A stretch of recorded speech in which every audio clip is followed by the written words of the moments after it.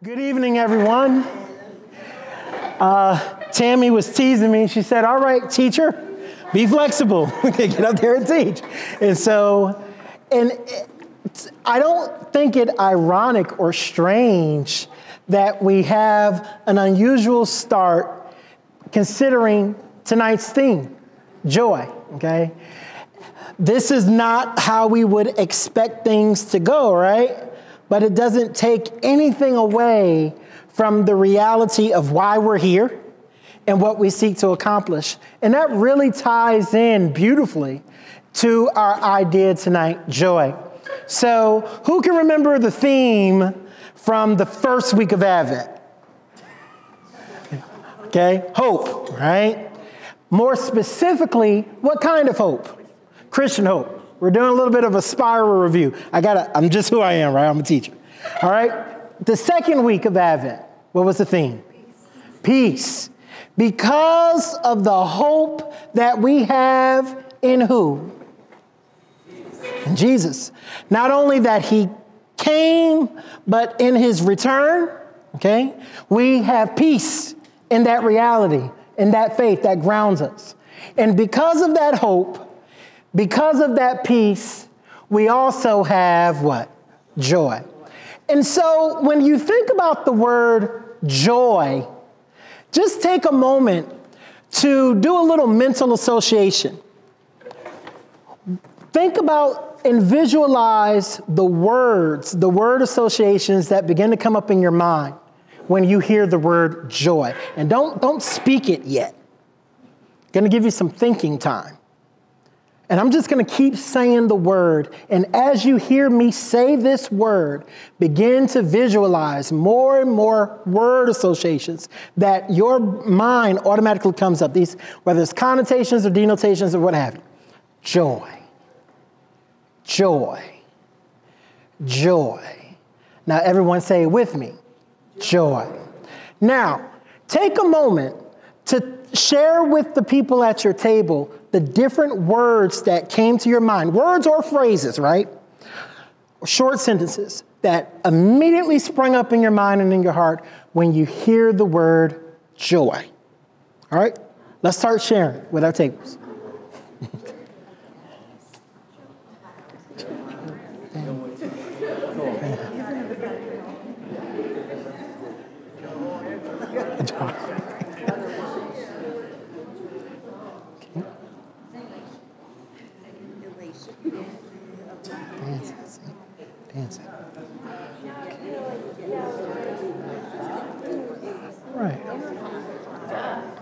Okay. And now we circle back together. And I heard a diversity of responses from people, things, ideas, other emotions and feelings that arise. And now I'm going to just walk past each table and I'm going to invite anyone, whoever, to just share one of the associations that sprung up in your mind when you heard the word joy. And if you have more than one person speak at one time, it's okay. All right? So, anyone from this table, say it nice so the whole room can hear it. Anything that you shared that came up to mind. Elation. Hmm? Elation. Elation, right? Okay? Anyone from this table? Grandchildren. Grandchildren. Her grandchildren bring her joy. Anyone from this table? I agree. She agrees, right? okay. Anyone from this table? Cooking. Cooking. Cooking. No, no, no, no. Say it again. Cooking. Cooking. Cookie. Oh, I thought you said cookie. now, a cookie brings me joy. Both of those work. Both of those will work. There's an action. There's some acti- activity that brings him joy. Anyone from this table? Children play. Children playing. And you're not the only one I heard make reference to children, all right? And anyone from this table? Inner contentment. Inner contentment, okay? Inner contentment. Really connecting back to that piece. And all of these associations are right and they have their place. And there's, there's a few things that we're going to do tonight. One, we're going to explore the concept of Christian joy within the context of Advent. Then we're going to look at or identify some distinctions between joy and happiness, right? Because there's going to be a little bit of a difference that we're going to end up seeing in our discussion. And then finally, we're going to have a nice little activity called Pass the Joy. And it's going to be an exchange of experiences. As Episcopalians, we know how to pass the peace, right? And, but when you begin to think on a broader scale of Advent, think about how not only can we pass the peace, we can pass the hope, but we can also pass the joy. And so, let's go into it. When we think about joy within the context of Advent, we're really speaking about this profound and anticipatory sense of gladness it's rooted in the belief and the expectation of the coming of Jesus Christ. Again, we celebrate, yes, we celebrate that he was born in a manger, right? Oh, little town of Bethlehem. Yes, we honor that and we celebrate that. But what we're really lifting and, and, and, recognizing and drawing our hearts to is the fact that the Lord has promised that He will come again. Now, when we think about joy, we look at joy, or I invite you to see joy as a gift, okay? You know, we're, we're getting ready to open a lot of presents this weekend. And so as we unpack this gift, let's unpack the idea of Christian joy and all of what it could entail for us. So, first, Christian joy, it's spiritual and heartfelt rejoicing right? Now, within the idea of spiritual and heartfelt rejoicing, it, we are able to experience that because, and we've named this just a moment ago, the, of the hope and the peace that we have in Christ, right? And not only because of the hope and the peace that we have in Christ, but we have a spiritual and heartfelt rejoicing that's grounded in God's redemptive plan for us, right? We're not out here just wandering aimlessly, but because of God and because of the renewal and God's plan of redemption for all of mankind, that's why we are able to rejoice, have peace, and exist in hope. Another thing that we can pull out of this wonderful gift of joy is continuous reflection. What are we reflecting on? First of all, we're reflecting on the significance of the incarnation. Say that word with me. Incarnation. Now, a lot of people may not know what that word particularly means, right? But when we speak of the incarnation, we are referring to the event that we often name in the Apostles' Creed and in the Nicene Creed, where the Word became flesh.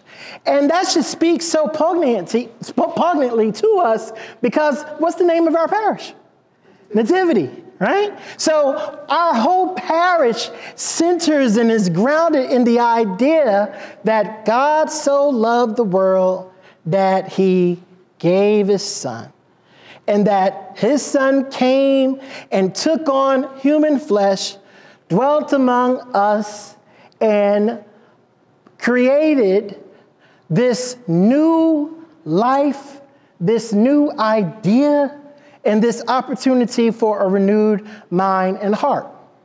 So we reflect on that, continue, that, that significance of incarnation.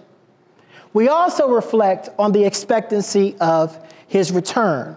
And we may be on varying ends of the spectrum there, and, and we may not always agree on what that's going to look like and, and, and what that will entail, but we have that expectancy and that hope that's grounded in our faith. Another thing that we unpack from joy is the idea of celebration. Now, celebration is not always this large emotional display, is it? Okay? Celebration is a reality, it's a state that we have within.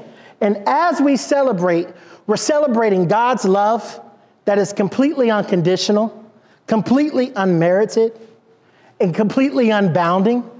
And we also celebrate our heritage of faith, the beliefs, the value systems, the moral fibers, even the ethics that inform our everyday lives. We celebrate those things. And last, Christian joy gives us a deep awareness. Deep awareness of what? One, it gives us a deep awareness of God's abiding presence. One beautiful hymn in the Anglican tradition is Abide with Me. And the hymn, if, if, if, you're familiar with it, many of the lyrics, it speaks to this idea that regardless to what may be happening in life and the different experiences that may come or go, God's presence is ever constant and it's a mainstay in our lives. So we have this deep awareness of God's abiding presence, and we have a deep awareness of God's eternal promises. And we know that the scriptures are filled with many promises that belong to us as believers and as a community of faith.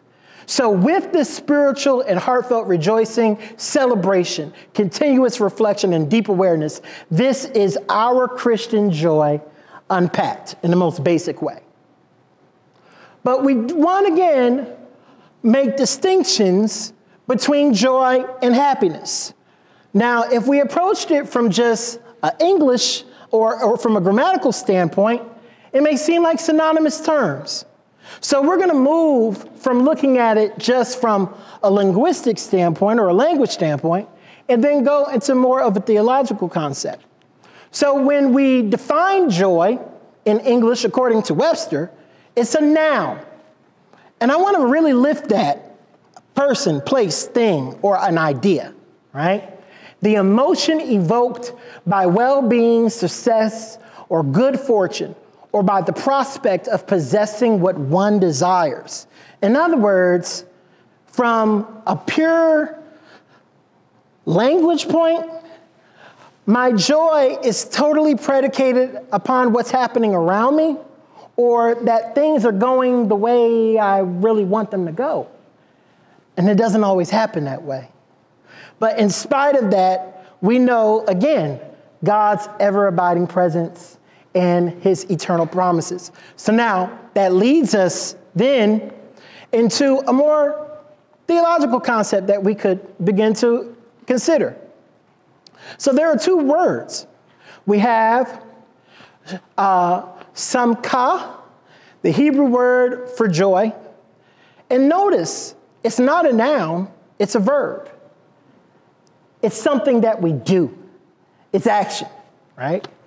to rejoice, to be glad. Then, Hebrew is not the only ancient language that informs our theological context. We also have a little bit of Greek. And we have the word chara, also a verb, an action, something we do, to rejoice, to delight. And so, the invitation here in considering the distinction between joy and happiness, where we know happiness, again, being defined as a noun, that state of well being and contentment, pleasurable or satisfying experience. But it can come and it can go. It's just like the weather and the temperature of the day. Sometimes it's high, sometimes it's low. But joy, now we have the opportunity to craft a more theological definition. We understand now it's a verb, it's something that we can do, it's the act. And forgive that typo there. It's the act of rejoicing. It's the act of continuous reflection, celebration, and deep awareness. And that act is grounded in Christ. And so I can rest and participate in and engage in Christian joy, even in moments of sorrow. Because my joy is grounded not in other emotions and feelings, which are very real. My joy is grounded in faith, which is constant. My joy is grounded in the reality that God not only came, but there's a promise of eternal life, and there's a promise of abiding presence. Happiness, again, rests and is hinged heavily upon circumstances? Where joy is hinged upon our faith. Happiness is an emotion and it can trigger and prompt other emotions, and that's totally fine. However, joy will always find a way to bring us peace. I think about the scriptures where it says, a peace that goes beyond all understanding. Happiness relies on things always going my way, but things aren't always going to go my way. I may not be happy with these variable outcomes that are part of my daily experiences, but joy is hinged upon divine promises that cannot be broken, that never fades away. And so we look at what some of those divine promises are as we wrap this up. Isaiah 12, 2 and 3. Surely God is my salvation.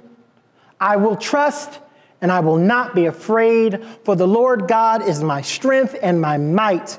He has become my salvation. With joy, you will draw water from the wells of salvation. There are times when life leaves us completely depleted, thirsty, and barren. But because our faith is grounded in the reality that God is our salvation, and we know that our salvation came over two millennia ago, and our salvation has promised not just to abide with us still, but to come again.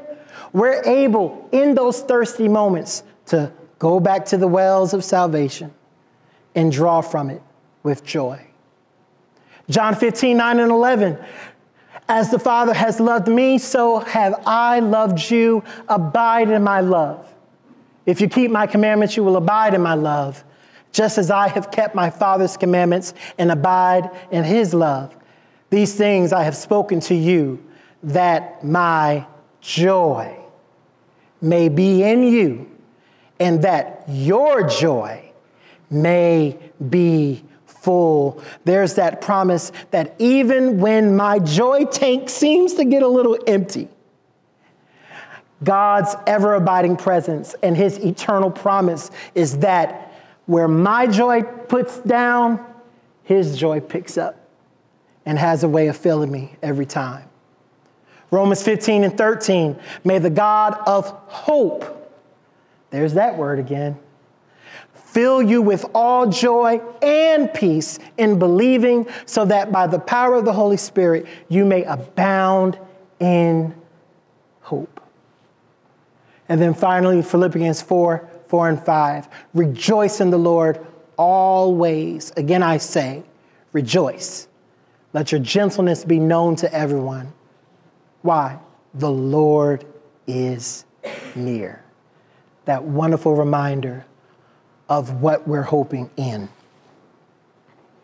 And so now, we take these collective thoughts and ideas and we go into our last little activity here pass the joy. It's going to be an exchange of experiences, testimonies of how we have had encounters with Christian joy. And just in case it may be difficult for you to come up with something, I have discussion prompts. with sentence stems. And so, what we're going to do, we're going to have someone lead off at each table. I'm going to provide each table with the sentence stems, and these are just openings. And it basically works like this when it's your turn, or whenever you want to go, pick up the paper. You, there are four prompts there, and you can pick whichever one you feel comfortable with and you agree with. But here are the, the prompts that you can use. And if you want to add to, add to, that's fine. I encountered Christian joy when, dot, dot, dot. So we're thinking about when we encountered that Christian joy, maybe in someone else or in something else externally around us. Second option, I found it difficult to rejoice when, dot, dot, dot. Because again, it's easier said than done sometimes, right? Three, something that I do that helps me to continuously reflect on God's promise and pr- God's promise and presence is. So this is something that's a part of our routine or our devotion or whatever it may be. And these are things, external things, activities, actions, rituals, if you will, that they help us to be able to engage in that continuous reflection that we unpacked from joy. And then finally, one way that I now see Christian joy differently is perhaps your lens has shifted a little bit from this brief discussion. In what way? I invite you to be able to name those things. So I'm going to put these pages here. I'll try to um, have two at each table. And we're going to give a little bit of time to have that discussion. And then in about three, four minutes, that gives everybody at least a minute to be able to talk and share, we'll come together, share openly, and then I'll give it back to Father Randy. All right? Either what you shared with your group or share what you heard. Okay? We, we, we honor some of the things that we've heard. And again, there's no precise order to which uh, prompt you want to use. Okay? So, anyway. Okay. Okay. Okay, um, I'll- I'm going to go through each one, just because we didn't Okay. write down a lot, but um, I encountered Christian joy when, John said, my fellow Christians socialize or interact. Um, And Debbie said, I encountered Christian joy when my grandchildren were baptized, and I said, all baptisms are, that's Christian joy. Um, I found it difficult to rejoice when, poor Valerie, my husband just passed away. Um, and I said, I find it difficult to rejoice when watching the news. There's just some Yeah. much going on in the world, in this country. Something that I do that helps me to continuously reflect on God's promises and presence is, for me, saying my nightly prayers. I say prayers every night before I go to sleep. So, um, one way that I now see Christian joy differently is, we all agreed at our table that after your talk, we see that happiness and joy are distinct. Hmm. They're not the same thing. Right? Okay. So I'll let her my answer. so I'm gonna go, I have a two-parter. I find it difficult to rejoice when I feel unworthy of grace, mm. but I also find that I encounter Christian joy when I don't forget it. Mm-hmm. Beautiful. Beautiful. Beautiful. Right? Anyone else?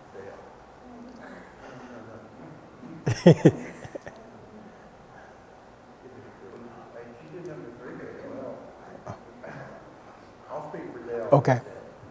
She said that she, uh, it helps her continue to reflect on God's promises and presence is through reading God's word and then, Wonderful. Wonderful. Anyone else? All right. Well, I hope all have been blessed and edified by this conversation and presentation. And I pray that each one of you go into this wonderful weekend with hope, with peace, and with joy. God bless.